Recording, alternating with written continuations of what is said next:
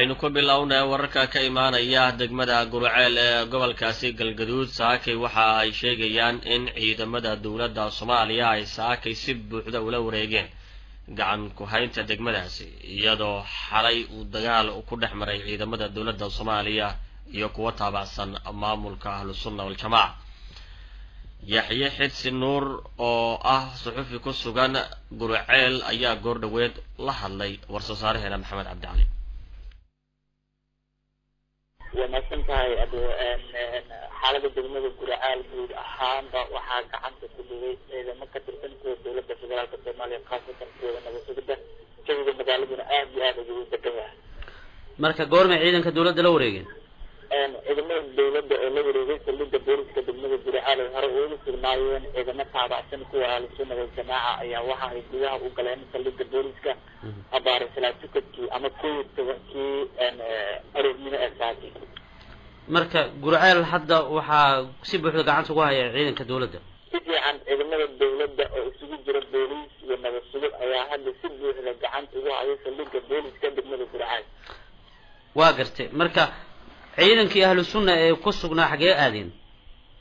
Waa mahadsan tahay war kala duwan waxay sheegayaan in ciidamadii ku sugnaa saldhigga booliska degmada gurcaal ee kacmar qaadanayay ciidamada ahlusunna waljamaaca aan la aqoonin ilaa hadda meesha ay kaga baxeen magaalada inkastoo wararka wararka gabal ay sheegayaan inay ku sugan yihiin gudaha magaalada waaya maxaa la leeyahay suxufiyiin magaalada ku sugan aad tihiin in sababta uga baxeen ciidamada la wareegay saldhigga booliska oo la hadlay boqolaal ka tirsan shacabka reer guracaal ayaa waxay sheegeen in si nabadgelya ay ku baxeen ciidamadii saldhigga booliska ku sugnaa wadahadalna lagu dhamay doona xaalada degmada guud ahaan deegaanada galmudug xalay shaqaaqaa ka dhacday gurceel maxaa laga ogyahay faahfaahinta? Inkastoo xalay xilli habeena risaaladii weliba u badneed qoryaha ku rakiban gaadiidka dagaalka ayaa waxaa la ogaan karin khasaaraha ay geesheen walow xilli habeen ay ahayd. Wasiirka arrimaha gudaha weli ma ku sugan yahay magaalada arrimaha gudaha xubnada federaalka soomaaliya mudane cabdi maxamed jibriye oo shalay dhan dhanka dhulkaas socdaal kaga soo amadaxay magaalada dhuusamareed ee caasimada dowlad goboleedka galmudug ayaa waxa uu socod ku maray magaalada guracaan asagoo ku sii jeeda degmada matabaan ee gobolka hiiraan halkaas ay la wareegeen kal hore ciidamo taabacsan kuwa dowladda federaalka soomaaliya ayaa dib ugu soo noqday degmada guracaan ee gobolka galgaduud wuxuuna habeenkii xalay ahay ku hingay degmada guracaan ee gobolka galgaduud bulshada reer guracaan kuwa ka mid a hoolasha ku yaalla degmada guracaan waaya ugu dambeyn bulshada reer gurceel see u dareemaysaa isbeddelka ka dhacay waa mahadsantaha bulshada reer guraceel ayaa hadda waxa ay yihiin kuwa intooda badan kawarkugaya xaaladii xalay ka dhacday degmada weliba dadku markay hurdada ka soo kaceen inta badan soo buux dhaafiyeen afaafka hore ee saldhigga booliska degmada guracaal ee gobolka galgaduud aad mahadsan yahay weriye yaxye xirsi nuur oo ku sugan degmada gurceel ee gobolka galgaduud oo nooga warbixinaya xaaladihii ugu dambeeyey ee degmada saake. Bangiga adduunka ayaa malaayiin dollar waxa uu ugu deeqay dowladda federaalk ee soomaaliya. Cabdiqaadir maxamed nuur jakarta ayaa faahfaahinaya warkan kadib kulan ay soo qaban qaabisay hay'adda bangiga adduunka ee ka dhacay magaalada washington ee dalka maraykanka ayaa waxaa bangiga adduunka oo lacag malaayiin dollar ah ugu deeqay soomaaliya taas oo lagu caawinayo dadka dhibaataysan ee ku sugan gudaha dalka soomaaliya. Shirkaas waxaa soomaaliya ku matalayay wasiirka shaqada iyo arrimaha bulshada ee xukuumadda federaalka ee soomaaliya. Xildhibaan sadiiq warfa waxa uuna sheegay in bangiga adduunka uu soomaaliya u ballan qaaday inuu siinayo lacag dhan lixdan shan milyan oo dollar. Wasiirka waxa uu sheegay in lacagtaas loogu talagalay daryeelidda ama ilaalinta bulshada gaar ahaan dadka barakacay iyo kuwa dhibaatada kala haysta ee ku sugan soomaaliya. Islamarkaana lacagtan ay tahay mid soomaaliya lagu tijaabinayo. Xubnaha xisbi waa bangiga adduunka ayuu sheegay inay u ballan qaadeen inay sii wadi doonaan taageerada dhinaca bulshada ah oo ay siiyaan soomaaliya uuna taasi rajo weyn ka qabo ka wasiir ahaan iyo dhammaan madaxda sare ee xukuumadda federaalka ah ee soomaaliya anigu waxaan u joogay shir ka dhacay bangiga adduunka oo wasiiro qaara lagu casuumay oona looga hadlayay waxa la yidhahda siyaasad waxaa lagu yidhahdaa ilaalinta bulshada baan kulan baan ka qayb galay oo sababta xitaa wasaaraddeeda ayay ka caawiyaan bangiga adduunka barnaamij ilaalinta bulshada ah marka wadahadallo iyo inay barnaamijkii ay sii taageeraan ugana madacday taageeradan waxaan ka helnay hirdilo fiican ay sii wadi doonaan ayna ku qanacsan yihiin habka. Horta barnaamijkan waa markii ugu horreysay ee nidaamka dawladda dhexe la soo marinayo. Central bank system waxa la yihahdo lacagtan ayna siinayaan oo ilaalada bulshada la siinayo dadka dadka mataqaanaa tabaalusaysan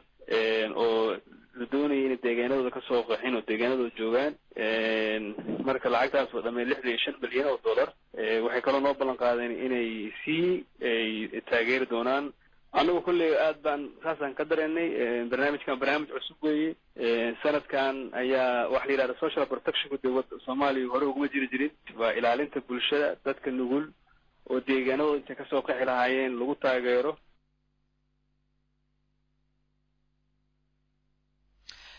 Hay'ado kala duwan oo caalami ah iyo dalalka saaxiibada la ah soomaaliya ayaa horay waxa ay lacago malaayiin doolar ah ugu deeqeen soomaaliya kuwaas oo lagu bixinayo arrimaha bulshada sida caafimaadka waxbarashada iyo baahida kale ee bulshada u qabaan. Waxaana lacagta lixdan iyo shan milyan doolarka ah ee markaasi loogu talagalay soomaaliya islamarkaana bangiga adduunka ugu deeqay la felayaa in dhawaan lagu soo shubo bangiga dhexe ee soomaaliya.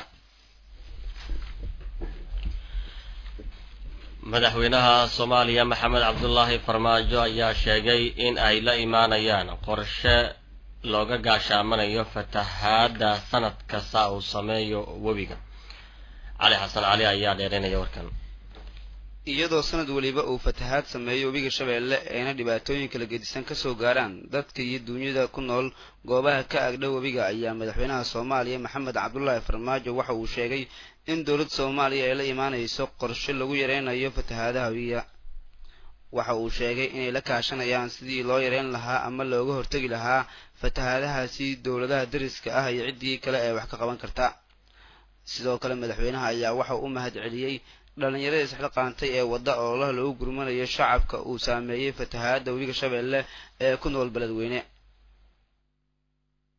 Mustaqbalkasana ugu dambaysa waan ugu soo noqnoqdeen fatahaaddan waa tuu noo sharxay madaxweynaha siday fatahaaddan ku timid. Marka in alla intii karaankeenna ah iyo cidday khusayso hadday tahay dowladaha deriska iyo hadday tahay cid kasta oo aan la kaashan karno inaan yarayno ama aan ka hor tagno runtii musiibadan hadduu ilaah yidhaahdo marka ummadda soomaliya meel kasta ay joogaan mar kale waa u mahad celinayaa sida ay qayb uga uga noqdeen gargaarkan dadka waalahooda gargaa ay gargaareen iyo dadka caalamka ah oo runtii iyaga naftooda qayb ka qaatay. Qaar badanna aan filayo inay noo socdaan. Waa mahadsantihiin waxaan ilaahay ka baryeennaa inuu dhibaatooyinkan muslimiinka naga yareeyo. Waxa weeye waa inaan ilaahay u noqono waa in quluubteenna wax walba waa quluubta weeye. Waxaan is leeyahay quluubteenna aad u xumaatay. Marka waxaa loo baahan yahay quluubteennii wanaagsanayd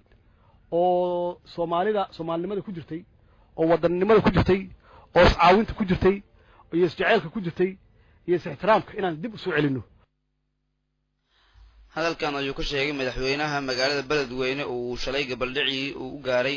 inuu u kuurgalo xaaladda ka jirta goobaha uu webiga ku fatahay ee beledweyne dhinaca kalena madaxweynaha maamulka puntland siciid cabdulaahi iyo wafdi uu hogaaminayo ayaa degmada dangaronyo ee gobolka nugaal kaga qayb galay kulanka bulshada degmada oo ujeedkiisu ah xog waraysiga bulsho iyo sidoo kale iyo maamulkaba. Madaxweynaha puntland dani ayaa kulankan waxa uu kaga qayb galay kala qayb galay mas'uuliyiin ka tirsan labada gole maamulka gobolka nugaal iyo kan degmada dangaroyo hogaanka dhaqanka aqoon-yahanada culimada siyaasiyiinta puntland. Xilal ka soo qabtay iyo sidoo kale boqolaal ka mid a dadweynaha kala duwan ee degmada dangaroyo ee nugaal. Kulanka kadib hogaanka dhaqanka iyo qeybaha kala duwan ee bulshada ayaa hadalka furay waxaana ay bogaadiyeen waxqabadka xukuumadda madaxweyne dani waxaana ay kaga mahad celiyeen siciid cabdulaahi dani in uu fuliyey ballanqaadkii ahaa in waktiga wakti fiican siinayo dadka deegaanka oo uu dangarayo oo ay sheegeen in madaxweynaha maamulka puntland uu dadaal hagar la'aaneed uu ugu jiro sidii puntland ay u noqon lahayd mid horumarsan. Madaxweyne dane ayaa waxa uu khudbad u jeediyey dadka degmadaasi waxaana uu ku bogaadiyey sida ay maamulka ula shaqaynayaan isagoo ka dalbaday in ay dadka ay kala qayb qaataan maamulka sugitaanka amniga ee degmada dangaroye ee gobolka nugaal waxaana uu sheegay in ay ku howlayihiin sidoo kale hirgelinta codsiyo kaga yimid deegaanada ay dhismaha waddada ka wadaan ee ayl iyo dangaroyo waxaan ku faraxsanahay runtii aanan ka hor dhacayn wadahadallada mas'uuliyiinta iyo odayaasha iyo ururada bulshada qaybahooda kala duwan oo wakhti isu heli doonno halka waxaa iiga furan uun mahadnaq soo dhowaynta ballaaran ee la sameeyey. Waxaan kaloo ku faraxsanahay maalintaan halka maraya waxyaabihii aad lay weydiiyey waxaa ka mid ahaa waddada dangoroy iyo ayl waxaan ku faraxsanahay wafdiga hordhiciisii iyo weliba safiirka shiinaha oo muddo aan ka codsanayay inuu indhihiisa ku arko inay yimaadaan iyadana waxaan rajaynayaa wakhti aan fogayn in howluhu noo bilaaban doonaan. Madaxweynaha maamulka puntland siciid cabdulaahi dani ayaa wada qorshe uu ku booqanayo deegaanada iyo degmooyinka dhaca maamulka puntland. Halkaas oo kula kulmayo mas'uuliyiinta waa deegaanadaasi degmooyinkaba iyo sidoo kale qeybaha kala duwan ee bulshada ugu dambeyntiina sagaal carruur ah u dhalatay dalka afghanistan ayaa geeriyooday kadib markii bam uu kula qarxay xilli ay u socdeen iskuulka sida booliiska waddankaasi afghanistan ay shaaciyeen. Iyadoo bamka uu kula qarxay waqooyi galbeed ee dalka afghanistan gobolka ku yaalla ee takhar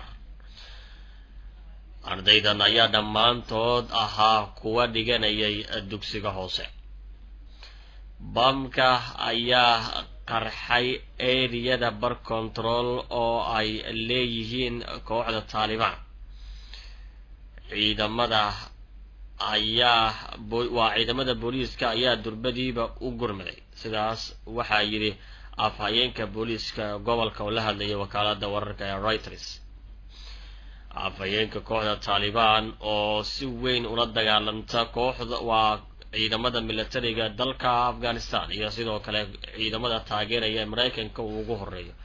waxaana aysan jirin in ilaa hadda ay ka warbixiyeen ama ay hadalkan ay ka jawaab celiyeen. Waxaa la diiwaan geliyey afar kun saddex boqol saddex iyo toban ruux oo rayid ah in ay ku dhaawacmeen ama ay ku geeriyoodeen. Intii u dhexaysay julaay ilaa iyo sebtembar ee sanadkan taas oo ka dhigaysa in labiyo afartan boqolkiiba kor ay u kaceen. Sanadkii la soo dhaafay khasaaraha dhimasho iyo dhaawac ee ka dhashay weerarada iyo qaraxyada ka dhaca dalkaasi afghanistan. Sida